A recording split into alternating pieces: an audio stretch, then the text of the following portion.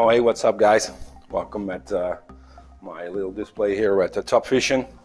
As you may know, uh, besides running TEF magazine, I always uh, have been designing for uh, Top Vision, 21 years now. And uh, this is one of our latest displays. It's called the Carré shelving unit. And yeah, its main feature is the impeccable lighting that's integrated into the shelves itself which uh, highlight the frame perfectly. It has like 20 spots that really pick up the, the vivid colors of the eyewear.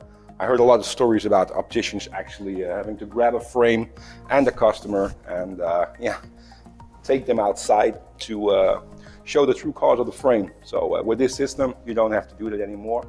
And yeah, because the amazing uh, accessories, you can really like combine a brand, link it to the eyewear, and uh, yeah, give it the, the, the, theater that it deserves, as I feel. So this here is a setup I did for uh, Blake Kuwahara, amazing brand from uh, Los Angeles. And I love, really love Blake. I mean, I really know, uh, understand where he comes from. This is, for instance, uh, his Beelman, uh, Beelman design. It's it's named after the architect Claud Beelman, who was famous for like uh, Art Deco and uh, streamline architecture uh, buildings. Very, very famous. And this frame is like dedicated to him. It's one of his frame in the frame designs, which means it's actually two frames that are uh, molded and heated together and pressed into one.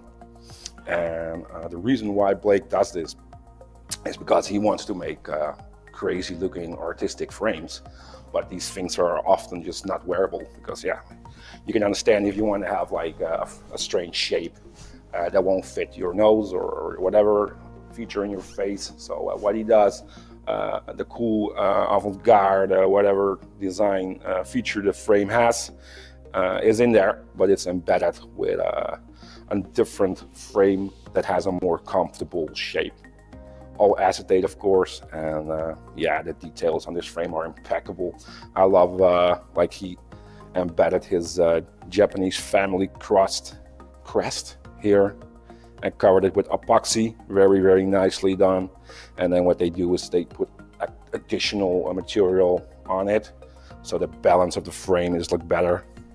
Perfect balance frame here and it makes it more comfortable. So uh, Really, really cool uh, design by uh, Blake Kuwahara. I advise you to check out this brand and uh, maybe take a look into our new uh, displays, which are uh, pretty awesome as well. So stay tuned, guys. And uh, this frame actually is uh, going to be a present tonight to my good friend Walter of Bolt Optical Fair.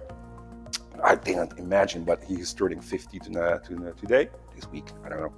So I know he loved this frame, so I'm going to box it up and I take it with me tonight. Uh, it's going to be a nice present.